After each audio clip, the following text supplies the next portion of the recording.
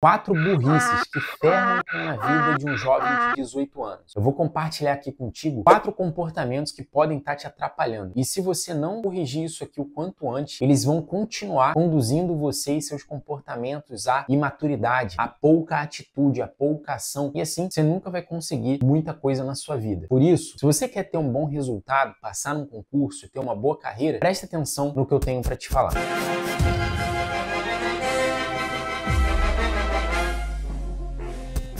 Muito bem, seja bem-vindo, bem-vinda aqui ao Elite View. Se você não é inscrito, inscrita no canal, já clica aqui abaixo para você receber conteúdos assim toda semana. Então eu e o Tenente Thiago Henrique estamos sempre trazendo assuntos importantes para você. Indo direto ao ponto, vamos lá. Primeiro comportamento que você precisa eliminar da sua vida é buscar prazer o tempo todo. Olha só, muitos aí, não só jovens, mas adultos também, têm um hábito que é o de olhar para a vida e para o seu dia a dia buscando coisas que dão muito prazer. Então, toda busca dessas pessoas, todo o esforço, toda dedicação, todo o empenho é para que eles alcancem prazer. Eles fogem de atividades que vão ser muito difíceis, que vão ser muito desafiadoras e eles estão buscando somente as coisas que dão prazer. Quanto mais prazer tiver, melhor. E isso é um sinal gigantesco de imaturidade. Se você ainda quer ser militar da área combatente, nem se fala, porque nós militares da área combatente, a última coisa que a gente está pensando lá dentro das nossas atividades é no que vai dar mais prazer, né? No que vai me trazer uma grande satisfação e alegria. A gente está ali muitas vezes focado no sacrifício sacrifício, na dor, na disciplina. Então a busca pelo prazer não é o foco principal da nossa vida e nem deveria ser da sua, que quer passar num concurso militar e ter uma carreira dentro da área combatente nas Forças Armadas. Então elimina dessa vida sua aí esse hábito de olhar para o teu dia a dia, olhar para tua semana, para tua vida e buscar com muita intensidade as coisas que dão prazer, fazendo assim com que você se torne cada vez mais fraco,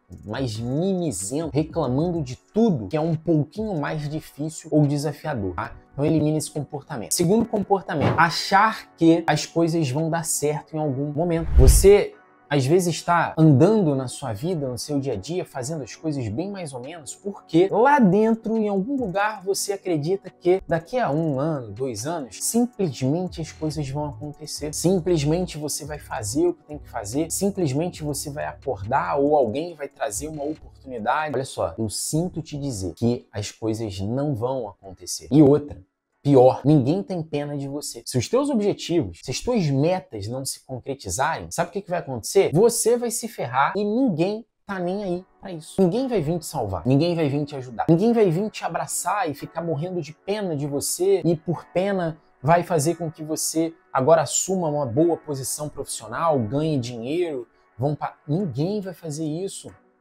tá? Ninguém. Então para de achar que as coisas simplesmente vão acontecer, que num determinado momento você vai encontrar as respostas que precisava, as coisas que estavam faltando vão surgir diante de você. Não vão surgir. Você precisa agir e agir hoje, o quanto antes. Porque quanto mais você demorar a se mover, a tomar decisões, a entrar em ação de verdade, quanto mais você demorar, mais longe e demorado também vai estar a realização dos teus sonhos, dos teus objetivos. Ninguém vai reduzir esse caminho para você. Ninguém vai pegar essa parada e botar diante de você, não. Outro comportamento para você eliminar. Próximo, preste atenção nisso aqui. Procurar pelas coisas mais fáceis. E muitos jovens, por muitas vezes não acreditarem neles mesmos, eles estão buscando por aquilo que é mais fácil. E aí ele olha para um mundo de possibilidades, ele vê até outras possibilidades que vão trazer mais resultado para ele, para a vida dele. O que, que, ele faz? Deixa eu fazer o que é mais fácil. Deixa eu optar por aquele que eu sei que dá para né, conseguir. E ele se contenta com uma vida tendo os menores resultados possíveis, tendo né, as, as menores possibilidades possíveis. E para ele tá tudo bem, porque era aquilo que ele queria, aquilo que ele esperava, aquilo que ele acreditava que dava para alcançar. Só que ele não sabe que se ele se esforçasse dedicasse um pouquinho mais, se ele se dedicasse só um pouquinho além do normal, ele muito provavelmente iria conseguir um resultado melhor, um resultado que ia trazer para a vida dele mais possibilidade, até mais dinheiro. Mas não, ele tá lá sempre procurando pelo que é mais fácil, sempre optando pelo que ele acha que dá para conseguir pelo nível que ele tem. Mas ele nunca pensa que ele pode aumentar o nível dele. Eu tô te falando, você pode aumentar o seu nível, seu nível de conhecimento em matemática, física, química, seu nível de habilidade, todos os tipos tipos de habilidades, capacidades podem ser aprimoradas, desde que você assim queira. Então para de buscar pelo que é mais fácil, que é mais simples e começa a buscar aquilo que de fato vai trazer mais resultado para sua vida e que está diante de você, que é uma possibilidade ainda na tua vida. Busque pelo melhor e para de buscar pelo mais fácil. E por último, fugir de compromissos. Outro comportamento, outro hábito muito comum entre os jovens, 17, 20 anos. Fugir de compromisso. Ah, não vou me compromissar com nada porque, ah, eu quero, sei lá, ser livre, eu quero aproveitar a vida, eu não quero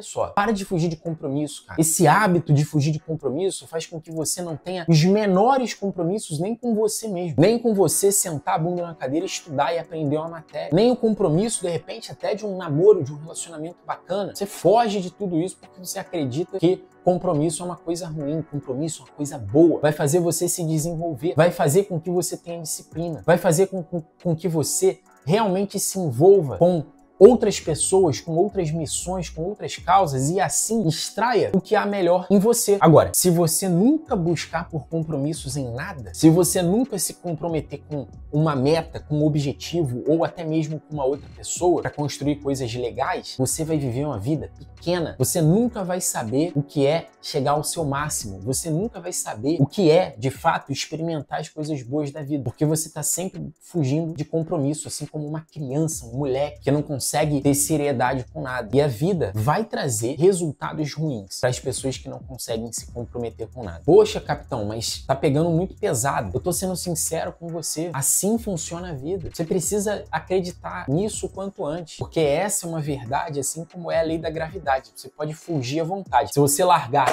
esse caderno no chão, ele vai cair, entendeu? Então não interessa o que você acha, não interessa o que você pense. A vida, ela funciona de maneiras bem específicas. E essa é uma delas delas. O não compromisso com as coisas vai fazer com que você viva uma vida muito limitada. E ponto final. Então, esses quatro comportamentos você precisa urgentemente eliminar da sua vida. Eu peço para que você faça o seguinte: pega aí um caderno e caneta e anota esses quatro comportamentos para cinco minutos e veja se você está vivendo algum deles, se você está experimentando e praticando algum deles na sua vida e no seu dia a dia e coloca como objetivo para durante a próxima semana, só uma semana, você trabalhar em cima disso para eliminar esses comportamentos. Então, esse é o desafio que eu te deixo, né? Deixo aqui com você a partir desse vídeo. Cumpra esse desafio e eu tenho certeza que você vai se aproximar cada vez mais de uma versão melhor, aprimorada e capaz, de fato, de realizar os seus objetivos, tá bom? Espero